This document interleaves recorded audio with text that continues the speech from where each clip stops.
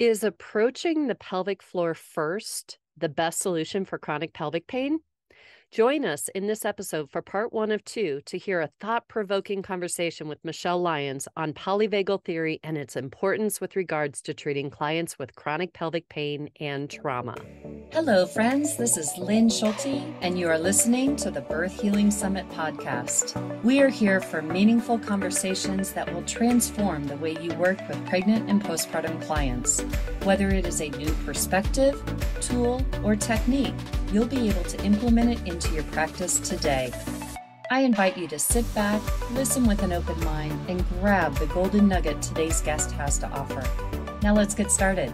Hello, everybody, and welcome to this podcast episode. I am so excited for our conversation today with Michelle Lyons. Michelle is a physiotherapist in Ireland. She is an educator um, and helps spread the word all on women's health to all those that that are lucky enough to to work with her.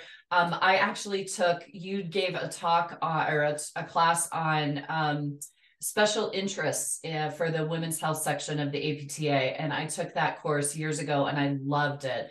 Um, it was on endo. What were the other special topics, Michelle? So I, I think it was endometriosis, um, interstitial cystitis, and pudendal neuralgia, the evil triplets of pelvic pain. Oh, it was so good. It was so good, Michelle. oh, thank you. Well, welcome to the this episode, Michelle. Thanks so much for being here. Now, the other thing that I wanted to introduce you uh, about you is that you actually your business name is Celebrate Muliebrity. Muliebrity. Yes, good work. yes. Tell us about that. What does that mean? So, it's an old English word and it means the art and state of being a woman. And I think we should celebrate that. So it's as simple and as complex as that. Right. do, you, do you get people going, what is that? Every day, Lynn, every day. what does that mean? But then I explain it and they're like, oh, yeah, okay, okay.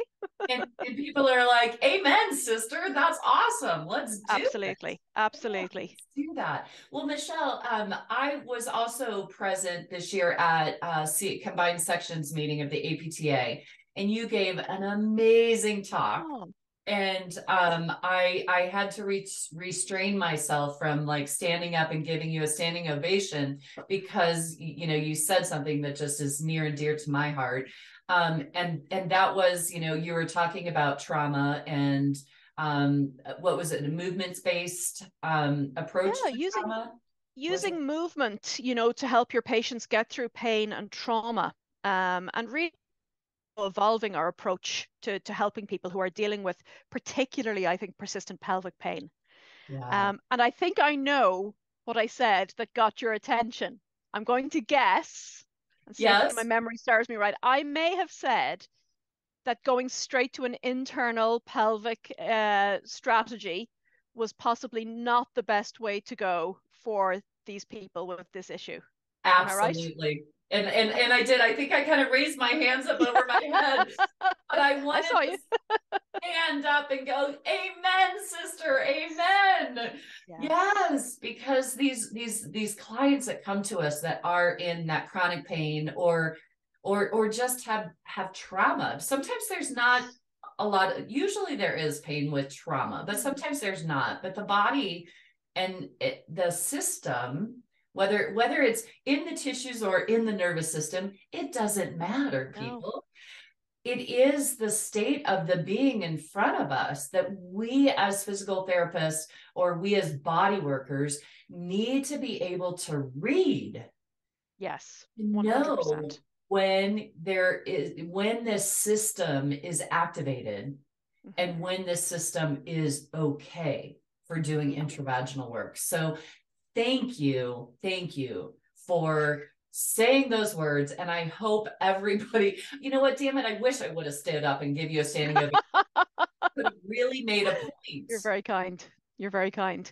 No, I think it's really important, Lynn, because, you know, we talk about in our profession, um, and, you know, I wear a couple of different hats, you know, um, I graduated as, as, a physio nearly 30 years ago.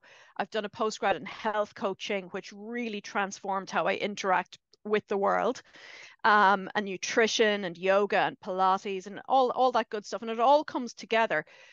But I think we have to remember that we're dealing with people that, you know, there is a person attached to that vagina that we're we're working with. Um, and to really, you know, emphasize the shift in in, in moving from a, a, very biomedical model that you know a lot of us elder lemons were were educated through um, with the issue in the tissues and what we're learning more and more now is that we really have to embrace all of the research that supports a biopsychosocial approach. Um, that we treat body, mind, spirit, but also, you know, taking into account the social, the cultural considerations as well. Um, and that really has to look at everything from movement, from nutrition, from sleep, from stress management. Yeah. You know, one of the key questions that I ask people is, you know, so what do you do for fun? and it's really it's worrying how hard a question that is for for a lot of folks particularly those who are dealing with persistent pain and i'd say particularly particularly if it's persistent pelvic pain so it's being able to really establish that connection with people. And over the past couple of years i've really been nerding hard on the vagus and polyvagal theory and how those can really influence um, our journey as pelvic health aficionados and and really just doing the best for the people that we serve yeah. So what is it that we need to know about this polyvagal theory and um, to, to help us? How can that information guide us as we're working with our clients? Sure. Okay. So i think maybe a good starting point would be the difference between say the vagus nerve which is a physical structure. We've got two vagus nerves in our bodies. It's the 10th cranial nerve. Um, and then we can talk about how that's influenced the development of polyvagal theory. And I do just want to emphasize it is a theory. Um, we all know what can happen to theories, as I'm, as I'm fond of saying, but it's a it's a nice framework. Um, I think you know, and it can suit our evolving paradigm of pelvic pain treatment. So the vagus nerve, 10th cranial nerve, coming out from from the brain and traveling down the side of the neck sending branches to the larynx and the pharynx um, and the, the ear as well. As it goes down through the neck into the thorax, it's got branches going to the heart, to the lungs, travels underneath the diaphragm then, and literally sending branches everywhere the stomach, the small intestine, the adrenals, the kidneys, down as far as the uterus, down as far as the splenic flexure of the large intestine. So it's really got its fingers in a lot of different pies and it's the mainstay of our parasympathetic nervous system. So we might think of the parasympathetic nervous system as our rest and digest. It's our the calming part of our autonomic nervous system. But the vagus nerve is it's the big player in the parasympathetic nervous system. But what's really interesting about the vagus is that 80% of the fibers of vagus are going from the gut up to the brain. Mm-hmm. So it's often called an information superhighway between the gut and the brain. And it's really the basis of much of what we know about the gut brain axis. So we talk about having gut feelings or, you know, butterflies in our tummy if we're nervous. You know, yeah. most of us will have some sort of bowel we're stressed. Some people get very constipated, other people get diarrhea when they're persistently stressed. Yeah. Yeah. But 80% of those messages are going from the, the gut up to the brain, and then 20% of the vagus is bringing messages from the brain back down to the gut again. So that's really what's happening with the vagus nerve. Polyvagal theory, on the other hand, has connections to the vagus nerve, but it was developed, oh gosh, over 20 years ago by Stephen Porges. Mm-hmm. And he talks about maybe just evolving our understanding of sympathetic versus parasympathetic, you know, fight or flight versus rest and digest, which he says is a little too simplistic. So he talks about how we have three states of being. And the first one is when we're in a ventral vagal state. And this is where we feel safe, we feel grounded, we feel in control of our environment, we feel open and communicative, and we're making eye contact or is low, is low, it's soft, our breathing is relaxed, all is right with the world. Hmm. But then a stressor comes along and we move into this sympathetic, fight or flight phase. You know, our stress hormones get released, cortisol, adrenaline, muscle tension. Our breathing maybe becomes a little bit shallow. The pelvic floor tightens up, as can the upper traps, as part of our stress response. And if that stress exposure persists, then we can move into a dorsal vagal state. And this is really where we're moving into that freeze state. We just withdraw. We stop caring. We stop engaging with the outside world. We just, our world can start to close in on us. And we just, we, everything just feels big and scary or just blah, you know, and we're mm. really, we don't have any joy in our lives anymore. Um, and what's really interesting, I think, for us in you know the healthy movement space is what Porges talks about is the way back from a dorsal vagal withdrawn, frozen state. The way back to being in a ventral state is actually we've got to move through that sympathetic state to get back to ventral state. And the best way to do that is movement and safe movement and movement where we can actually start to rebuild the relationship with our body again. Um, and good gut health, you know, would be a big part of that as well. But we can use breath work, we can use optimizing our gut, but movement is just fundamental to being in our bodies, being at peace with our bodies. And then that allows us to be at peace with the outside world again. So Michelle, what's coming to mind to me is you were talking about that dorsal vagal response is mm. as you were talking about that withdraw. I've just seen as as you're scrolling through social media, you're on Instagram and you're just, you know, scrolling through and you can see I'm, I look at a lot of birth pictures mm-hmm. and videos, right?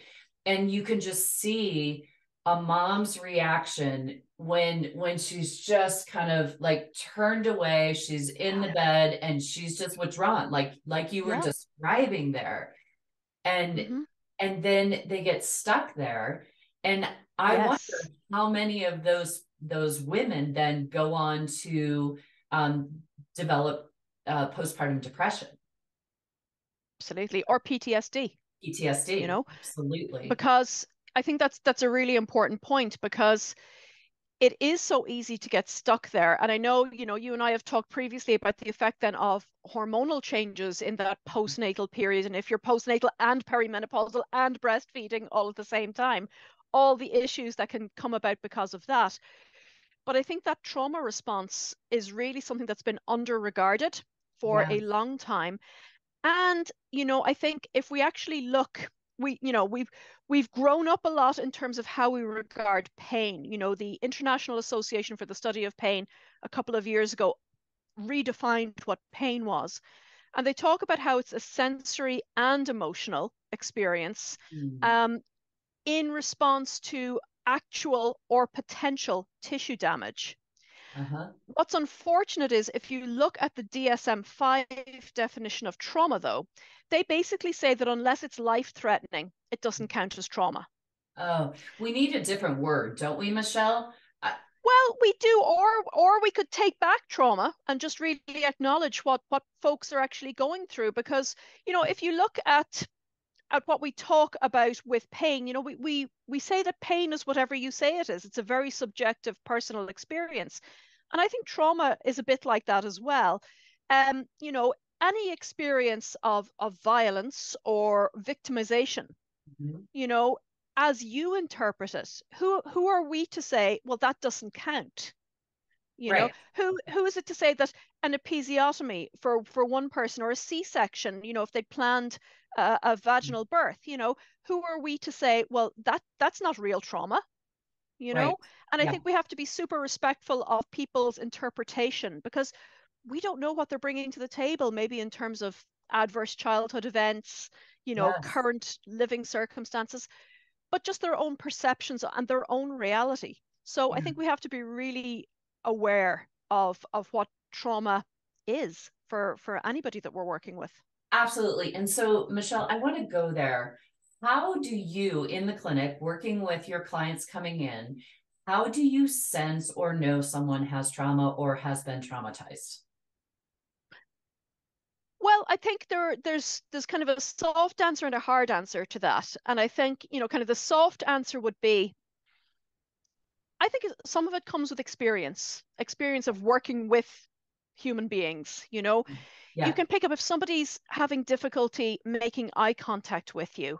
or you're asking them questions about about pelvic health, about their general health and their voice is is low, they're hesitant, their you know their posture is quite mm. withdrawn, you know, and you really have to work on on building that therapeutic alliance and coming from a place of trust and cooperation so for example like creating a, a, safe environment for your your clinical setting is absolutely vital no harsh fluorescent overhead lights no loud music things like that from a more objective perspective we can use things like the central sensitization inventory. We can use things like the depression anxiety severity scale. We can use things like the, um, you know, the PCS if we're if we're trying to screen for catastrophization.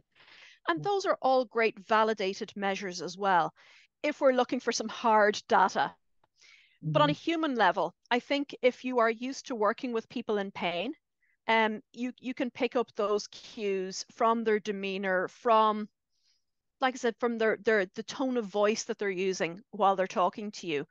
And it's it's kind of like dealing with, you know, if you're if you're familiar with horses, for example, if if you have a horse who's a little bit spooky, a little bit flighty, you don't just march straight up to it head on and look it in the eyes because it's going to be gone.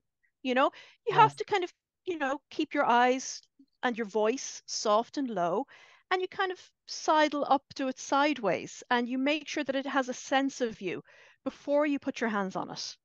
And I think humans can be like that as well. We have mm. to be really just gentle in our approach with everybody. And honestly, at this point, you know, a, a, lot of the work that I do is is also in in the cancer realm, particularly in pelvic oncology.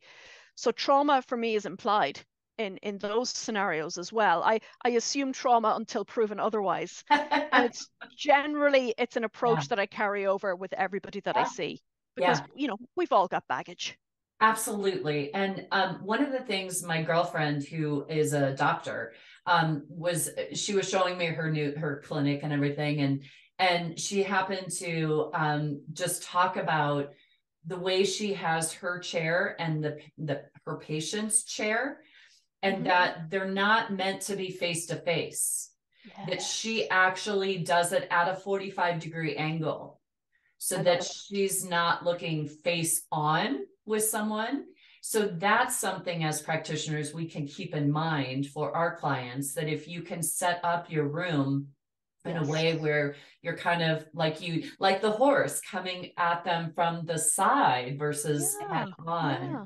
that can and be- it kind of I think that can really kind of co-create the sense of, you know, we're we're in this together. Yes. You know, uh, we're going to work together.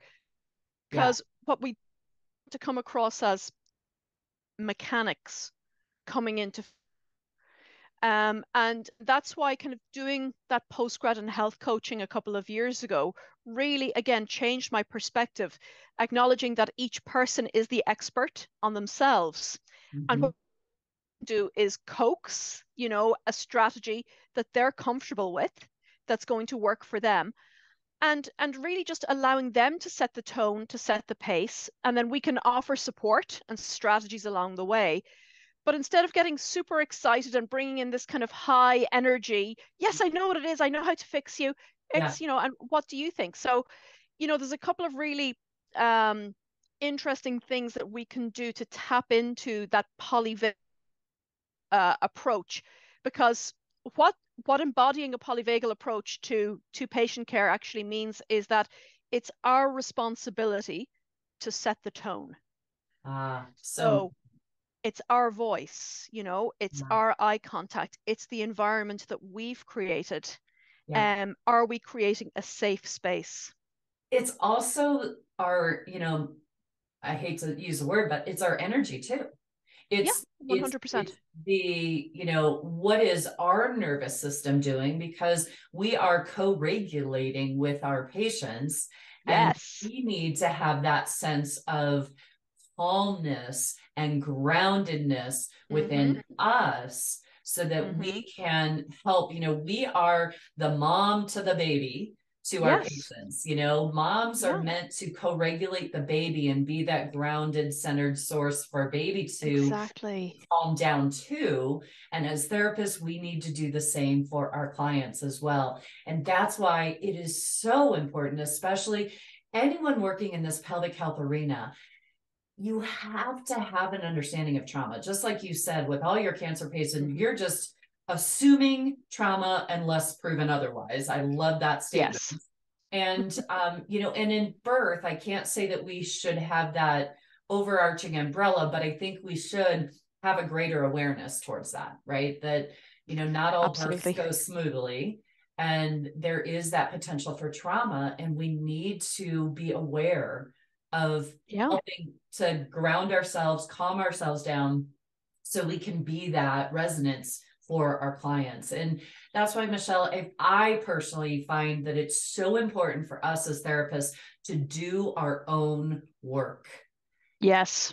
if we are if we are traumatized from our own births, there's a you know it's just going to be a little bit more challenging for you to work with someone else who's traumatized as well and so yeah um, you know that's why my advanced body of work is meant to is designed to help people do their own work so that we can show up more powerfully more grounded for our clients and well absolutely because if you're getting triggered every time yes. a, a you know a, a particular client comes up what's the energy that you're projecting into the relationship then as well? And how objective can you be about helping that person without kind of you know looking at it through the lens of your own history? Yeah yeah it's so so important and i think we also have to you know we really yeah we have to you know also really be quite clear that self-care is not bubble baths. I mean like you know if you like bubble baths that's great but yeah. self-care actually means taking proper care of yourself as a healthcare provider because if you you know you it's such a cliche but you literally cannot pour from an empty cup and mm-hmm. particularly in pelvic health where you know it's such a sensitive yes. emotive area um, we really have to be very conscious of the energy that we're bringing into the conversation into the room you know are we do we have the capability you know as we wash our hands between clients you know can we shake off and yes. come in with fresh eyes because the next person that you see might be the sixth or seventh, or hopefully not the eighth person you've seen that day. But for some people, it might be. But for them, it's their first pelvic health appointment, maybe of the day. And so you want to be sure that you're coming in with clear eyes. Um, oh, what was that? There was, there was a TV show about football. Um, clear eyes, full heart, can't lose. Um, Friday Night Lights. Friday Night Lights. That's what I was just going to say. Yes, yes. Yeah. But that's the sort of energy maybe that we should think about bringing in to each encounter, you know, yes. and that, but then also what I think is super, super important for us as healthcare providers, can we leave all of that behind at the end of the day? Amen. And that's the P, that's the PhD level. Yes, yes. Well, and it, and it's funny because I find that as practitioners, there's a couple of imprints that I have found in people um, we all have that. I need to save the world. I shouldn't say we all. I can't generalize that.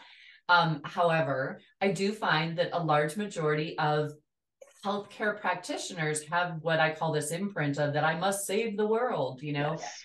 And, and it doesn't allow us to, you know, we're taking on the responsibility of everybody else's healing. And that's draining, yes. Michelle. That's not sustainable, not healthy for us as practitioners. No, so... And it's it's not, and I think it's particularly relevant, I'd say rampant in pelvic health, because for for so many of the people that we're working with, we we may be hearing, you are the first person to mm-hmm. believe me. You are the first person to reproduce my symptoms. You are the first person to help me. And the emotional outpouring that can come along with that, it's a lot. Yes. It's a lot and we can get you know we can get swept up in this wave of trying to be all things to all people. And you know really kind of shepherding them and advocating for them at, at what cost to our own health as well. And it's it's to really it's, it's something that i say to to a lot of young uh, younger women's healthcare professionals as well that boundaries are really important. And you know can you can you leave your work behind at the end of the day? And what are you doing to fill yourself up again before you go back into that situation? Yeah that's amazing. What what do you recommend michelle for that filling up? It has to be whatever brings you joy. I mean for me it's i i love historical fiction. You know i'm a danger in a bookshop um unsupervised. Um so like that that for me is bliss you know going to bed early cup of tea good book you know yeah. but yeah. having some sort of movement practice i think is really important as well so whether that's yoga or pilates or dance or whatever you like doing yeah getting yeah. outside in nature you know but even something as simple as how are you sleeping yeah. You know, sleep is just fundamental. And there are so many of us are sleep deprived. You know, maybe we're at different phases of our maybe we're caretaking for older parents. Mm-hmm. And sleep is just such a good barometer and influencer of everything else. So, you know, are you sleeping well? Are you eating well? Are you moving your body? Um, I think getting those big rocks in place first, then we can we can add on other layers. And like I said, if you like bubble baths, absolutely go for it. Yeah. Yeah. But it's it's it's important that we kind of look beyond, you know, something yeah. fluffy and superficial like that. You know, Michelle, I have to I have to be um uh what what's the word here? I'm going to reveal a little bit about myself here. I I grew up when in a family where we my dad watched TV every night, right? And so that was that's how you calm down at night and that's, you know, we watched a few hours of TV and then we went to bed. And that is still my MO today. Mm-hmm. And um, I had some friends staying with me for a couple of weeks, and they, you know, I didn't do that. I didn't get to because I was, we were entertaining and talking, and we had a great time. However, I realized that I was actually feeling more depleted because I wasn't doing and and you know I'm thinking oh TV is so bad I'm checking out and you know and I that was the guilt that I was putting on myself oh. But then I realized I'm like oh my god that actually recenters me that yes. grounds me that you know like that calms me down and that is Thanks. my joy I love binging a show yes. or whatever it is you know and so I, oh, I realized that that's what I need I yep. need to do that. And so I've I've owned that more. But Good. I also want to say for those therapists that are younger moms, I don't know about you, Michelle, but uh, Michelle and I both have same age kiddos here, mm-hmm. and they're in their 20s. And I don't know about you, but when they were younger, I kind of gave up all the things that I love doing. And and it's just now recently that I've gotten back into playing tennis and you know doing some of the things that I love, right? And yeah. I want to just put this out there for you younger moms. Do not do that. yeah, don't be like us. Be like Learn us. from our mistakes. yes, please do the things that may bring you joy and and you know like i wish i would have continued to play tennis throughout while i was raising my kiddos i wish i would have skied more you know like i look back and go, wow, I just gave all that up. And yeah, but you know, I, I think, you know, with different seasons come different challenges. Um, and I, I don't know about you, Lynn, but didn't you feel like when you turned 40, somebody just flipped a switch? Yes. And you yeah. realize, oh, hang on, I matter too. Yes. I, I should be on the list. yes. So 40s was the start of it, but man, yeah. the 50s, oh boy, sister, that is when you just the 50s are the best, I have to say. I just turned 50 in December, and so far I would have to say yes. the best. Okay. I'm only I'm three months in, but so far so good. Well, uh, in your 50s, um, from my experience, you just don't give a flying flip about anything or anyone else's yeah. opinion or anything. It's so liberating. It is. It so is. Oh my gosh. Okay. So young young women's health pros out there, stay the course. Yes. but but put yourself on the list. You know, I was I was listening to a podcast this morning while I was driving over and I think it was it was Mel Robbins that I was listening to, and she was talking about exactly this: how important it is for young mothers um, to maybe you know reach out if you haven't got you know the support of a, of a partner or family like reach out to other mums you know in your neighborhood and and swap play dates you know try and find something that puts energy into your system again yes. um, and it just makes you know and everybody feels very overwhelmed in that time period when you have small children and you you hear you know oh you should do something else as well and it's like oh how could i possibly yeah. but if it's something else that gives you joy it's super important and particularly if you are a healthcare professional if you are working with women in pain or distress yeah. you